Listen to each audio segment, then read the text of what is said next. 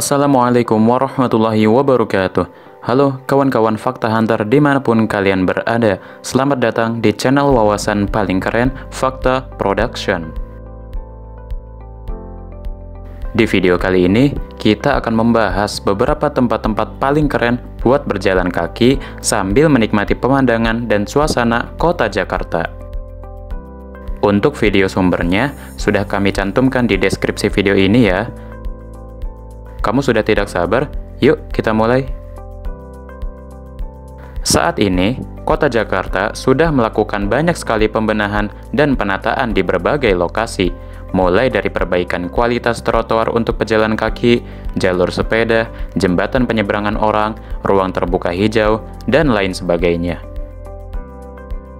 Dengan adanya kemajuan di berbagai bidang, Pasti kamu sering melihat berbagai macam video dan foto-foto hasil jepretan para konten kreator yang menunjukkan tentang keindahan kota Jakarta yang sudah sangat kekinian. Berikut ini adalah beberapa lokasi terbaik untuk menikmati suasana Jakarta sambil berjalan kaki. Lokasi pertama adalah kawasan wisata Kota Tua. Kota Tua Jakarta memiliki pusat di alun-alun Fatahillah, yaitu alun-alun yang ramai dengan pertunjukan tarian tradisional. Kawasan ini juga dipenuhi dengan bangunan tua peninggalan dari zaman kolonial Belanda.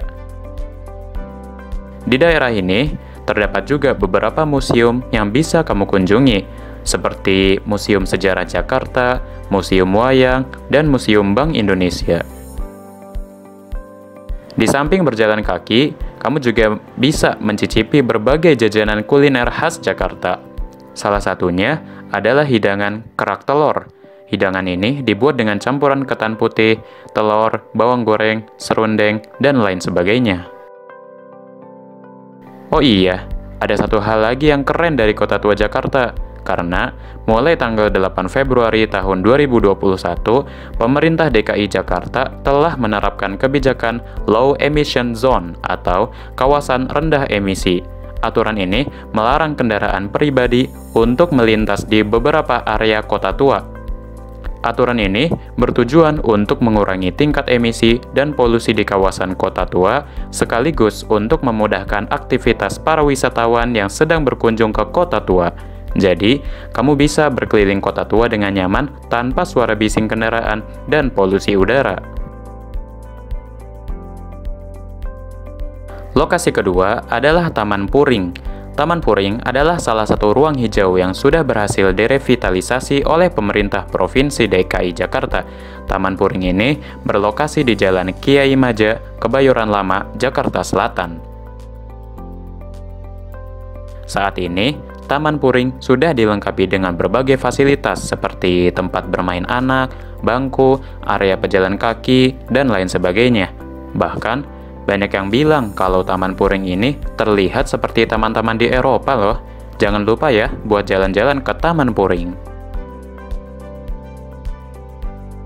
Lokasi ketiga yaitu Terowongan Kendal Terowongan Kendal yang berlokasi di wilayah Duku Atas ini juga berdekatan dengan beberapa stasiun kereta seperti stasiun BNI City dan stasiun Sudirman.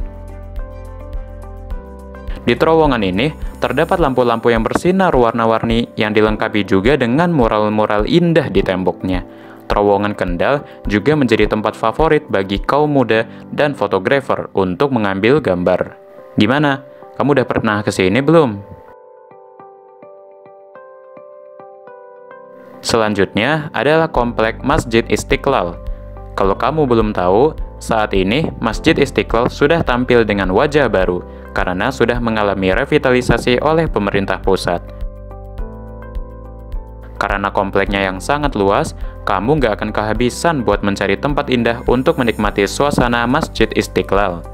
Jika kamu sedang berada di dalam bangunan masjid, kamu akan disuguhi suasana yang menenangkan. Apalagi, Masjid Istiqlal juga sudah dilengkapi dengan lampu-lampu warna-warni yang sangat indah. Ketika sedang di luar, kamu juga bisa berkeliling taman-taman di kawasan halaman masjid.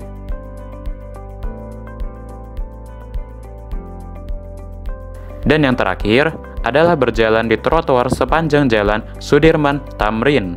Benar sekali, trotoar ini sudah sangat sering kita lihat di banyak postingan media sosial. Di sini, kamu bisa berjalan sambil menyaksikan pemandangan gedung-gedung tinggi dan megah. Selain itu, ada banyak jembatan penyeberangan orang yang memiliki arsitektur unik dan cocok nih buat hunting-hunting foto.